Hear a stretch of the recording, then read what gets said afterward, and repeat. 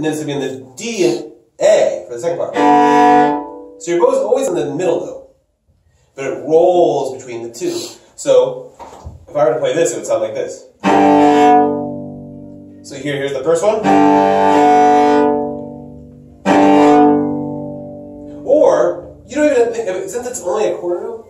You just this one this, this goes like that, but try it. Just roll it, roll it down.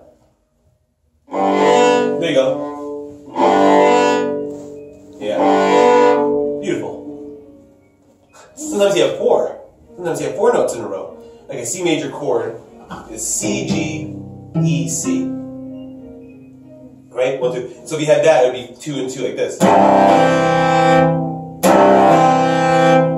that. Try C major.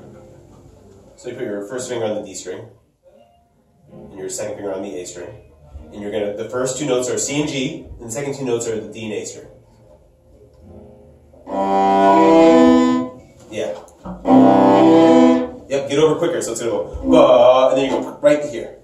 That one, that one. Boom. A little flat, that's all. Yeah, and then you you come you kind of come off these quickly. So if you if it was a long note, you I would, the, the C and G strings would be about to here, and then I'd have all this bow for the top two strings. Try that. Good, pretty good. We'll get to it. And- pretty soon in, in Suzuki, we're gonna have that stuff. Um, what time's our lesson go till? 45. Oh my god. Okay. Um, have I heard these yet? I know you've played them for me at some point. These are good. How's this one?